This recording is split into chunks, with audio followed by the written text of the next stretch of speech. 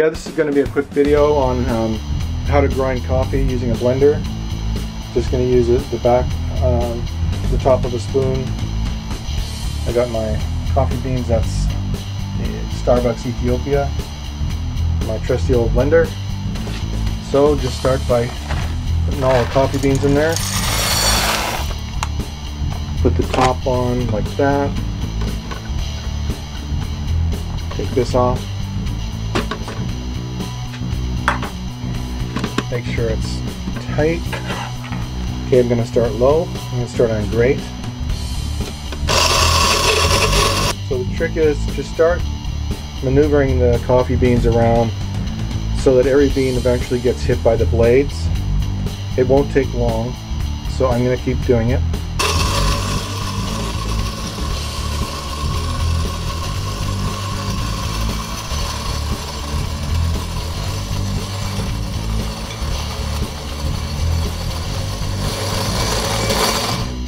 So I decided to take the top off completely.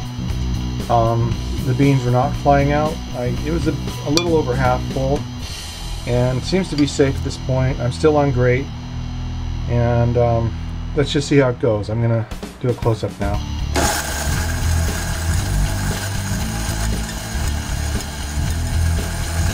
After a minute and a half of grinding, it's you can already see that it's grinding up really well and then you just keep going according to your your uh, desires if, if you want it fine or, or coarse. So I'm going to turn it up a little. So um, I have the basic setting on low.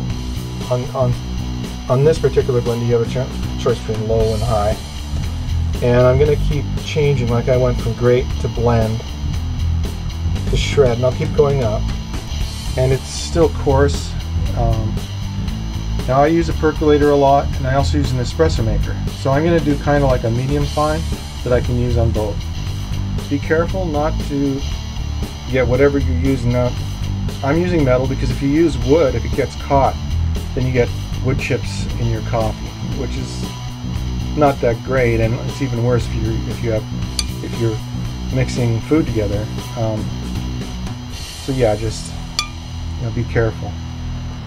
I'm gonna try using the this part of the spoon now that it's it's ground up more, just to make sure it all gets hit with the blades. Okay, turn it off. I'm gonna get the stuff that's deep down there and put it on the top. Mix it around a little like that with it turned off. See, I don't know if you can see it in this light, but it's already, I would say medium, but I want it to be medium fine or not completely powdered, but let's say medium fine. So just keep going.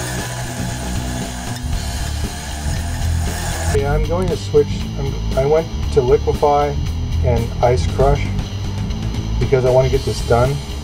Now I'm being careful and, and uh, cautious for the sake of this video because it's a tutorial.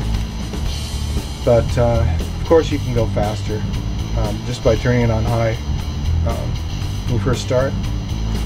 Okay I think it's done. Let's take a look at it. You see? I would say that's medium fine. Um, it could be used both for espresso and for making regular coffee either in a percolator or a drip um, an automatic coffee machine um, so yeah done. That's the coffee grinding hack. Alright I'm out. Bye